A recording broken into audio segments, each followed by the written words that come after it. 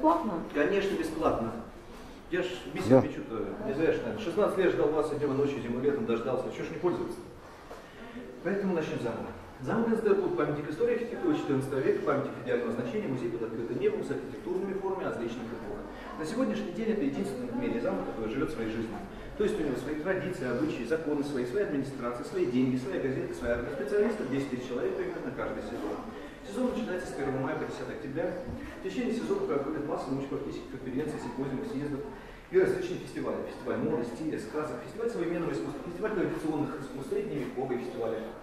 Соответственно, с 10 октября по 1 мая в межсезонье или в зимний сезон вынашивается стратегия развития на будущее, оттачивается план мероприятий на предстоящий сезон. Праздников крайне мало, и туристов, слава богу, мало. Туристы, как видите, здесь побочный эффект, ну, так решили с 99 года, пусть будут. То есть ими тоже занимаемся.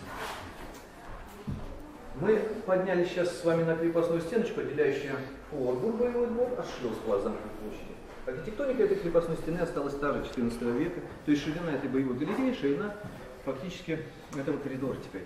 Ширина каменной части, глубина этих залов, сейчас один из них увидим.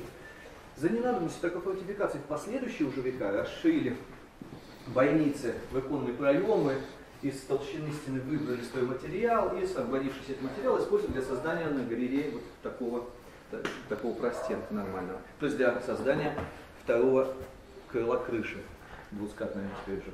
И, соответственно, в сторону Форбурга для сбора воды. В Форбурге для этого булыжную мостовую сделали ливневочками, такими лучеобразно собирающими воду в рыцарский дом туда, во двор рыцарского дома 500 квадратных метров, посредине колодец. Сверху это лучше видно, чем внутри. Естественно, внутрь заходить нельзя, как вы понимаете, там его только специалисты. И два этапа реконструкции прошло. То есть чистка и консервация, опять же, двух типов, потому что все-таки экспериментальная огромная школа, замок Инстебург.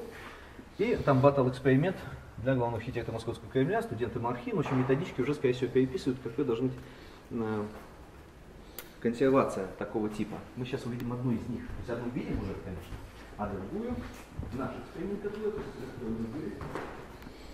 мы выявили здесь, в этом окошке. То есть Т-образный заход этих лучников арбалетчиков в рыцарский дом заложен, но в 18 веке эту позднюю готику, этот стиль поздней готики повторили здесь этим окошечком. Оно символизирует простенок, это подхан. Система обороны называется подхан, когда крепостная стена обнимается со всех сторон, рыцарский домик на углах из дома форм э, заканчивается башенками, и самая большая башня, это рыцарский туалет Данскер. Уходил за пруду далеко, за пруду сделал на основании реки Чернупр. Здание зубчатой мельницы, которое там поставлено до сих пор стоит, модернизировано немножечко, и на нем красуется медальон 1436 год. Остатки воды уже пустили в оборонительный канал. Самый большой в Европе по ширине глубине. Вот там уже точно на границе прогуляться, потому что ну, точно его своей нет. Геологический зал, в длиннее, но в таком объеме справляется. Единственное, что его поставили на ремонт, и в ремонтном состоянии, он, видите, тоже продолжает работать. Вынесли отсюда антикварные кресла, убрали стационарное оформление, такой ликбез. Но все равно э, жизнь на час не затухает, поэтому ну, там, за неделю можно объяснить, что происходило. Шекспирский театр выступал, девочка диплом защищала по очередной реконструкции замка. А художники сняли свой пленер, э, фотохудожники повесили свой фейзлайт, да. А, С песком девушка, так сказать, позанималась, все показала картины, знаете, модно, да, с песка все делают. Авторское кино показали, клип э, э, рокеры сняли, то есть, ну, работа продолжается каждый раз. Пойдемте в художественную мастерскую, так быстрее стреляет, покажу будущее замка, прошлое замка. Если вопросы есть, на любые отвечаю. Большая реконструкция замка планируется? или- Во-первых, вот там два видели, сейчас еще один покажу, возьми это. Естественно, внизу тут не остались, все делается. Это была свалка стоит, ну, как делается, новейшая история замка Петербург. Под нами, когда есть инфраструктура, если интересует, она следующим образом. Как тут передаточки показываете, у вас с этой стороны под этой, под этой галереей начинаются входы.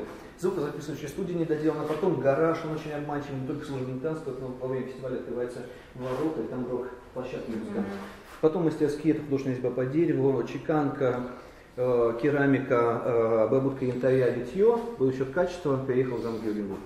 А, ну, туда же ушли наши рыцари, естественно. Потом идут м, от кампус, это развилка на как раз сначала туалеты на обе стороны, маленькие туалеты, потом а, кофе-паузная развилочка такая, вот она есть, там кинозал, танзал, приемы для министров э, каменного и так далее, то, что вас интересует.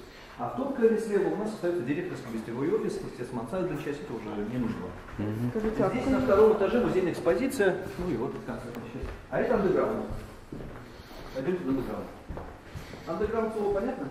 Да, подземка. Нет. Андег- Ну хорошо, начало 20 века, андеграунд. Ну, а стиль, стиль искусства, как андеграунд, вы имеете, да? Подполье, знаете, что такое, да? Да, знаю. И переводится буквально, ну что такое подполье по-советски, понимаете, да? Хорошо, тогда заходим. Художественная мастерская особенная, она публичная для вас, к сожалению, для меня. К счастью для вас. Сейчас моделечку я обновлю эту, что она должна быть всегда. Вот, полетает моделечка. Сильно можно туда не смотреться. Сейчас дам клубную карточку у себя на своих мониторах дома, спокойно переварите свое путешествие и уже тогда возьмите клубную карточку, одной вам очевидно хватит. И на ютубе можно показать ее, да? Вашу экскурсию, да? В смысле, это не экскурсия. Ну, это... Тогда не надо показывать, потому Нет. что вы фальсифицируете мне то, что как поняли, так и покажете. Да нет, ну что, да я вообще ничего не, не Хорошо, ком- не комментирую. показывайте. Тогда ничего не показывайте. Ваше путешествие может быть вполне фотками оправдано. Хорошо. Ну, хорошо, пойду поедите, надо пойти поконтролировать там на ютубе. на этом. Итак, я продолжаю. Металлический столик показывает на прошлое замка. То есть вот там будущее, а там прошлое, а вот настоящее. Такая машинка времени получается. Мы стоим в этой надгробной башне. Тут самое интересное, надгробная башня по одной простой причине мы в ней стоим. Уголочек в свое время был выявлен, реконструирован до 14 века мы готовимся выходить.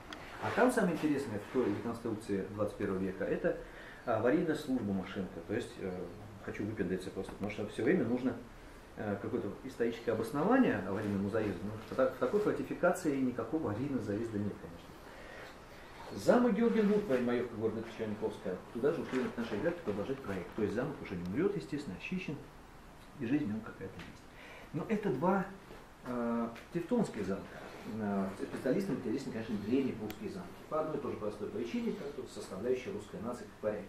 Это варяжская, правильно по-русски названы прусские земли. Вот кусочек Сталин выдал как трофейную зону, Калининградская область называется. А речь идет об одной земле, на Брове, в центре ее мы стоим. Соединение пяти знаковых рек, сердце Пруссия, называть, действительно похоже. Ну, черняховцы об этом знают, хотя это не интересно. Надо помнить, что город Черняховск, главное, настолько разные вещи. К сожалению, для замка, к счастью, для Черникова, все здесь получает на халяву. Четыре точки, вот это пассианса, дальше точки видим старой Кенигсбергской трассе. Начинается она в замке Топлакер, заканчивается в замке Родник, город Киев. Эти замки встречаются по пути. У нас, кажется, две трассы. Новая и старая. Вот так первая десяточка. То есть вот продолжается. Следующий будет замок Шлёсберг уже. Место службы верховного жреца всех пруссов. А вот десятку не удержался. Все-таки упаковался этой карточкой с аннотацией на русском, на немецком. Печати больше 250 лет, работает до сих пор. Оформляется в лучшем стиле 4 стихи, естественно.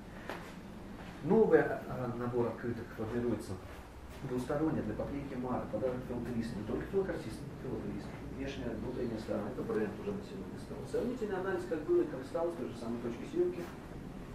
Сравнительный анализ из домов, замок Георгенбург, замок Эстербург, естественно, они разные. Это постоянно в боях, и сейчас в боях, только фронт. Ну, это выход уже за рамки замковой темы, усадьба Гладиторий, потому что легче сказать, чем замок не занимается, нежели чем занимается. То есть еще и объект, ну, там, конспекты посмотрели, все Денежка наша вот такая ничего выйдет. Односторонняя копия первой русской монеты. Если хочется, можно приобретать. Курс 1 к 50. Проект «Магнита» из трех серий состоит документально на русском, на немецком. Что-то приходится отрисовывать по учебнику к автографу. Ну и уже авторские магниты. Станковая живопись, различная пленерная живопись, масло, акварель, графика различная, творческая, книжная графика. Вот, например, калининградцам посвящено. Русских Пруссия, то есть такой вот юмор. Если интересно, можно посмотреть. Творческий юмор.